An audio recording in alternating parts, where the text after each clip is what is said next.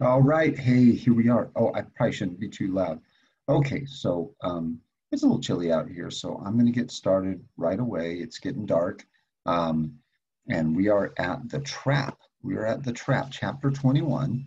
Let's get there. Let's see what it says. Chapter 21, the quarry. All right, so um, we're going to set that trap and see if, uh, well, Sheftu's chef setting that trap with Nikonk and see if Mara falls for it.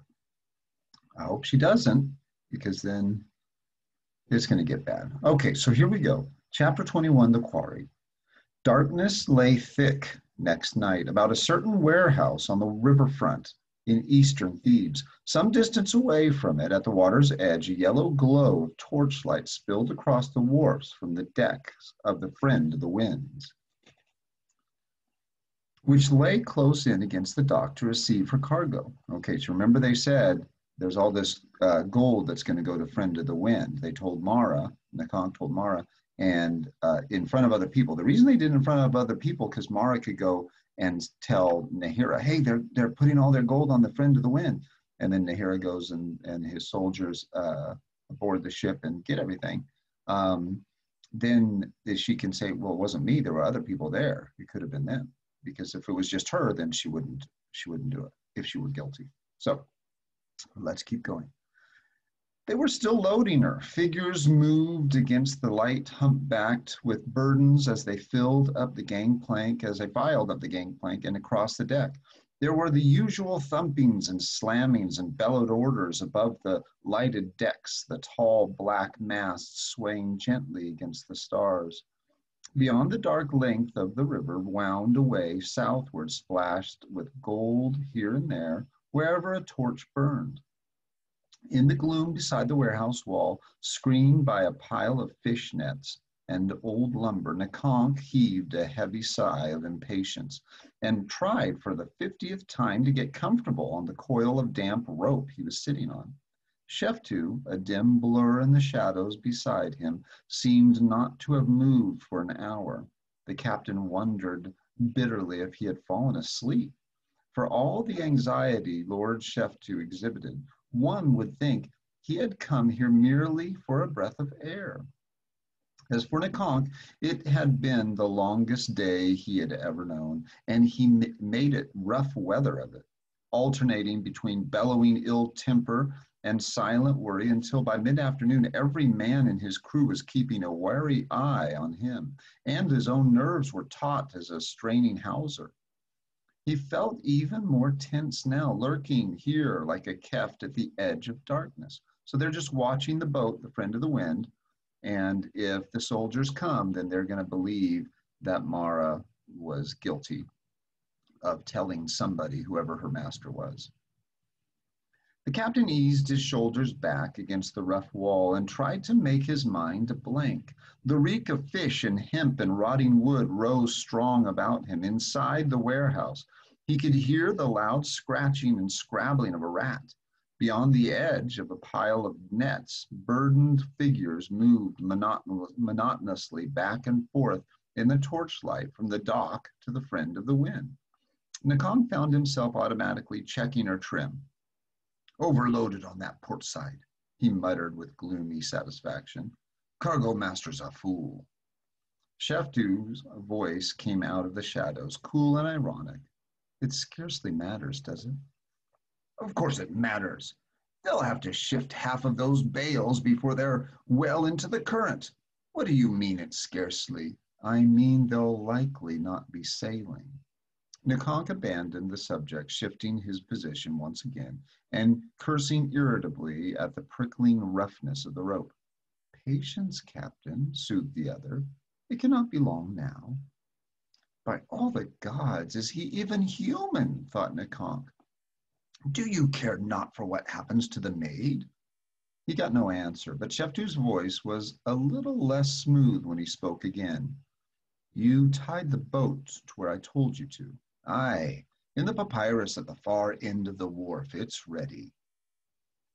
They were silent again. After a time, Nikonk twisted around to scan the black mouths of the alleys, still quiet and deserted, then squinted up at the stars. By the beard of Ta, it if it isn't the mark of eight by this time, I'm no riverman. Oh, I'm sorry. I was supposed to be Nakong. By the beard of Ta, if it isn't the mark of eight by this time, I'm no riverman.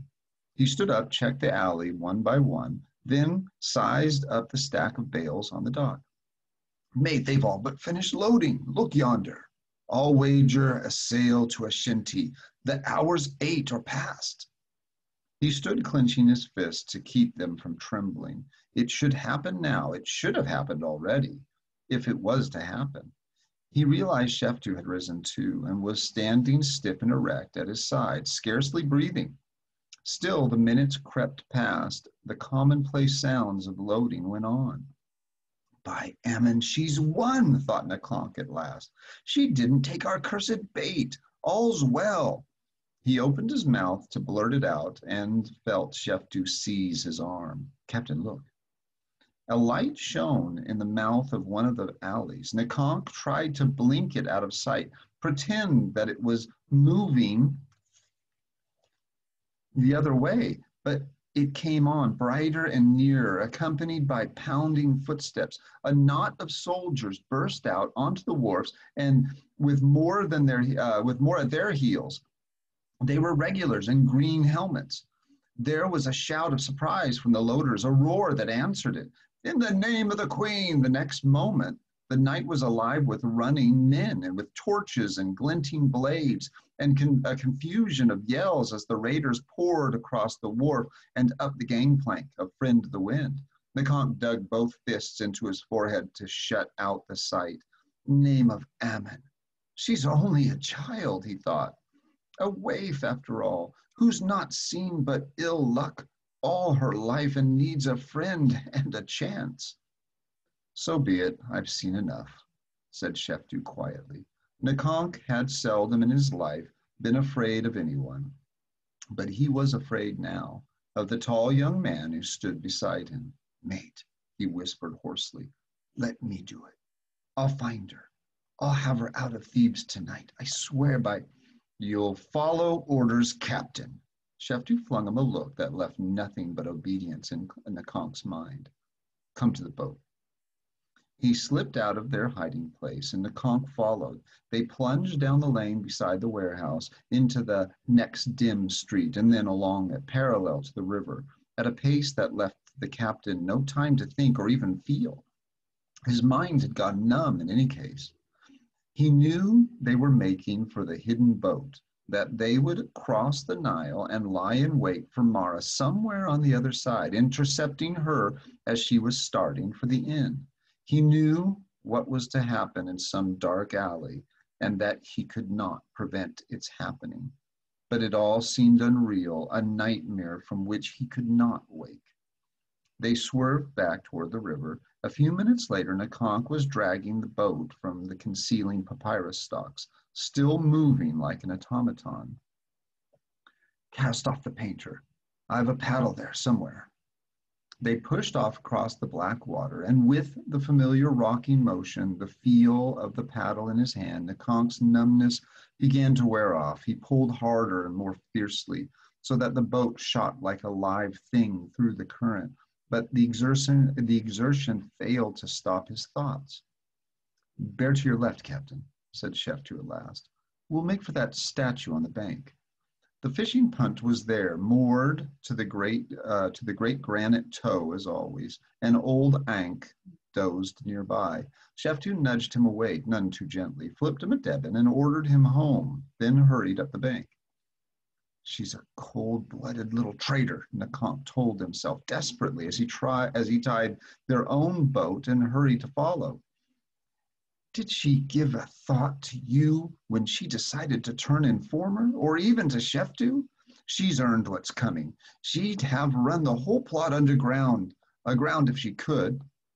Just don't think. Don't look at her. Remember, don't look at her. This will serve, said Sheftu coolly. I believe she's coming. Nakonk emerged abruptly from his preoccupation. They stood in an alley. Ahead, up its murky, narrow length, he could just make out a slender, cloak swathed figure hurrying through the shadows. Nakonk wet his lips and glanced around him, wishing he could stop, going hot and cold like a man with a fever. Sheftu had chosen his spot well. The lane was deserted, closed in by buildings that would remain dark and empty until morning. There would be no one to disturb them. Walk casually to meet her, murmured Sheftu. He strolled forward, and Nakonk trailed after him, wiping his sweaty palms on his thighs. Presently, Mara drew close enough to catch sight of them, and he could hear her sharp little intake of breath as she halted. An instant later, she recognized them. Sheftu, her voice was low, but it held only surprise and pleasure, no fear. She moved swiftly to join them, looking from one to the other in amusement. What is this, I pray? An ambush? One might call it so, answered Sheftu silkily. Come, I want a word with you. He took her arm and guided her to a recessed doorway, while Nakonk drifted a little apart where he could watch both ends of the alley. He could hear Mara's uneasy little laugh. How about the words you wish, but why choose this place? At the inn, we could. You'll not be going to the inn tonight. Why will I not? She hesitated, and her tone changed. Sheftu, you're acting strange. Is aught amiss? Aye, much is amiss. The, fe- the vessel Friend of the Wind was raided tonight by the Queen's soldiers. She gave a gasp Nakonk could have sworn was genuine. Osiris, with all the gold on aboard her? Aye, when you travel to the shores of the night to bring it back. Nay, they can't, they mustn't. Those her voice broke with fury, and for a moment her language reeked of Menfi's waterfront. But shall we do naught but wail for it? For, for love of Ammon, we must do something. You must do something, Sheftu. You're the leader. Aye, a brilliant leader. Sheftu's voice remained quiet, but the whiplash Nakonk had been dreading came into it now. I've saved Egypt with one hand and destroyed her with the other by trusting a maid as faithless as the wind. Of the gods, whispered Mara, you think I did it? My lovely Mara no doubt exists, but I didn't do it. I didn't. I didn't. There must have been another who listened. I didn't do it, Sheftu, the juggler. Aye, that's who it was. He was there, Asnakonk. He heard everything. It was that babbling Saur. May the devourer take him. I knew he'd betray us before we'd done with him. Did I not tell you, warn you? I was certain you would place the blame elsewhere. Ask Sheftu, you're blind. You've ever been blind about that robe. And look you now, all the gold is gone. The plan's ruined, Mara, said Sheftu softly. There was no gold on that ship. There was a sudden silence. Nakonk edged toward them without knowing what he did. He was beginning to feel as if he could not breathe. Suppose it were Saur. It could have been, it was possible, even probable. Then by all the gods. Stay away from her, Captain, ordered Sheftu. Mara drew a soft, irregular breath. Why? she whispered should the captain stay away from me? Because he has revealed an unfortunate weakness where you're concerned, said Sheftu, moving closer to her. For the first time, he was failing to hide the strain he was under. Nakonk could see the tension in his shoulders, and his voice had grown harsh and thick. This affair is between you and me, little one. Do you understand?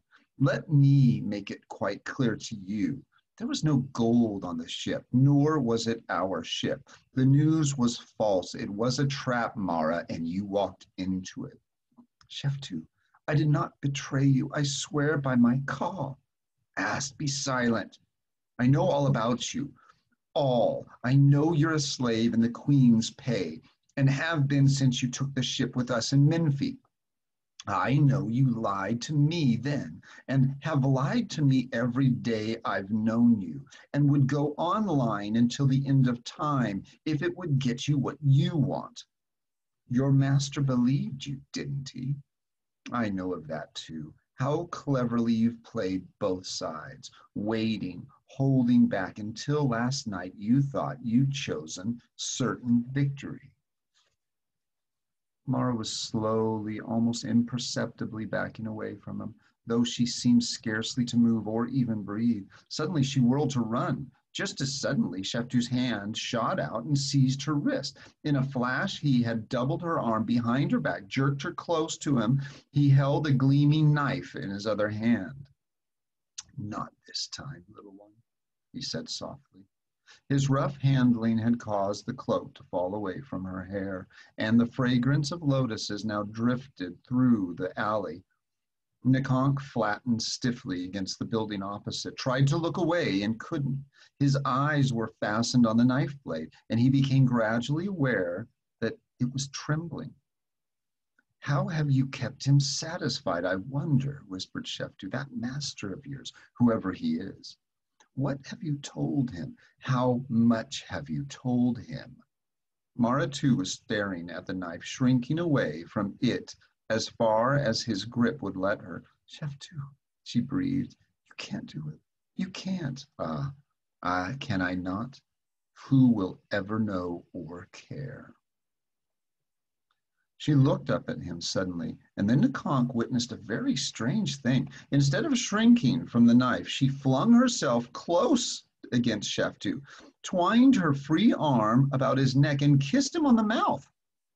What happened next was never clear in Nikonk's mind. He was aware of a strangled oath from Sheftu, the clatter of a knife hitting the gravel, and felt Mara hurtle against him as if she had been thrown.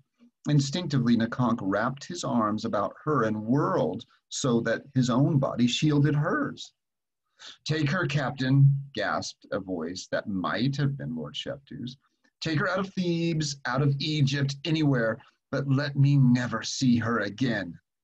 Hasty footsteps plunged away up the alley, pounded around a corner, and were gone.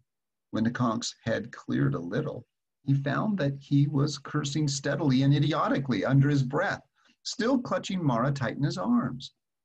He stopped, wet his shaking lips, and loosed his hold to peer down at her. She was weeping stormily. He did not know whether in anger or in fright. Is all well with you, little one? he murmured. He, he didn't harm you. She shook her head, burrowed harder against his chest, and continued to sob. He held her uneasily, patting her shoulder now and then, and growing vague, growling vague comfort under his breath. He was not used to weeping maidens and had no idea what, what one did for them, but he felt dimly that it would be best to let her weep her fill. Presently the storm subsided a little, and after a moment she stirred and lifted her head. Nikonk, where is he? Gone, little one. Likely halfway to the Falcon by this time. He'll go there? Aye, I think so. He'll want to make sure all's well, and besides, besides what? Well, little one, said Nikonk gruffly, I think he'll be warning them about you. Ordering them to murder me on sight, I'll wager, she burst out just on the chance you'll not take me far enough to the ends of the earth. I, just on the chance, just on the chance, he soothed. We'll not founder on that sandbar till we hit it.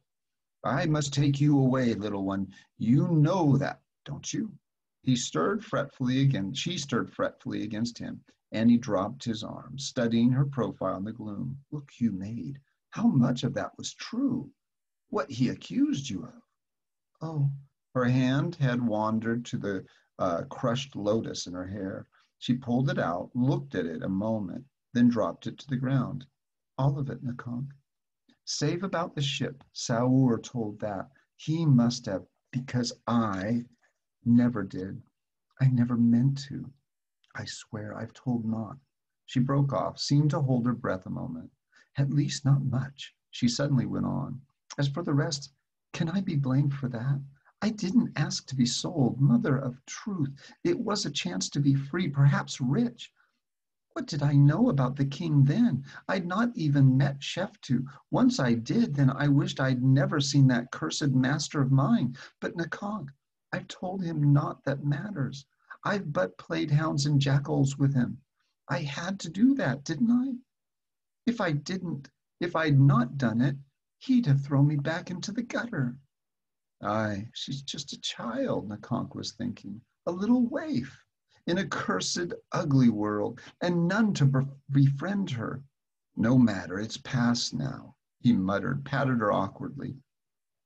We'll have a fine voyage, clean to Crete if you like. Crete's a good land, with one uh, little one, an island, a mite odd and foreign, but pleasant, and uh, lively enough even for you. They've acrobats there, men and maids both, who dance about under the horns of the bull and leap over their backs so that you'll never seen the like. You'll be no slave either, and I'll wager you could sell that ring of yours for a hundred gold deben. Aye, come, little blue eye, Crete's the place. Let's be out of this dark alley. You're good to me, Nikong, whispered Mara, and I'll come, but she hesitated, resisting when he tried to draw her forward.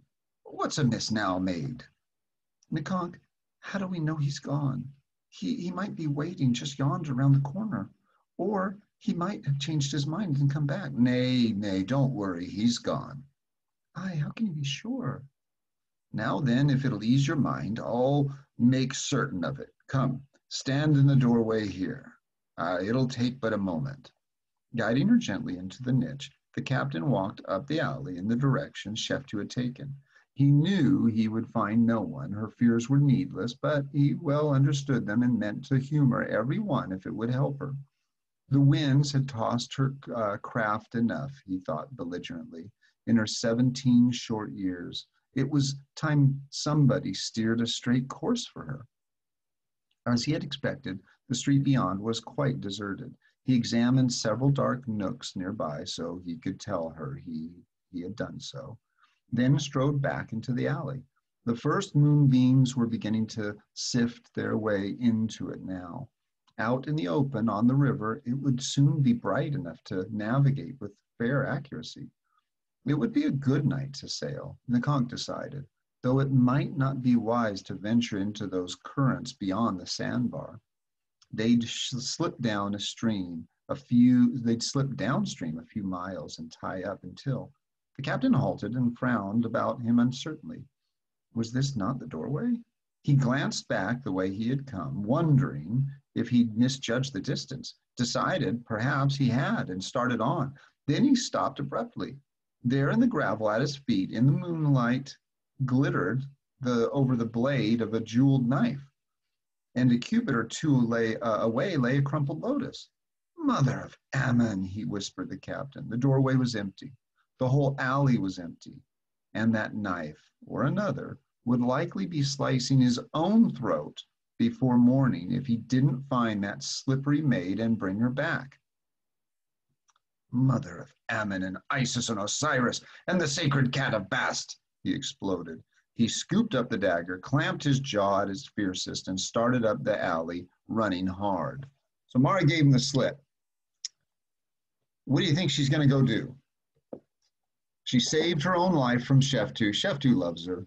Uh, he was going to kill her that night. He was going to because he is a fanatic about Egypt and about his pharaoh. But um, Mara kissed him, and that that brought it all back. He could not kill her. He could not do it. So he tossed her to Nikonk and said, "Get her out of here." Um, and then she uh, stayed. So she eluded uh. Why? What do you think she's going to go do? She's going to do something. She's not just going to go lay down somewhere. She's going to do something. So we'll see how this turns out. If Nahereh, if he if he gets a hold of Sheftu first, or if if uh, if Mara does something to save people or rescue them, we don't know. So tune in tomorrow. Tune into the next one. Guys, have a great day. We'll see you later. Enjoy.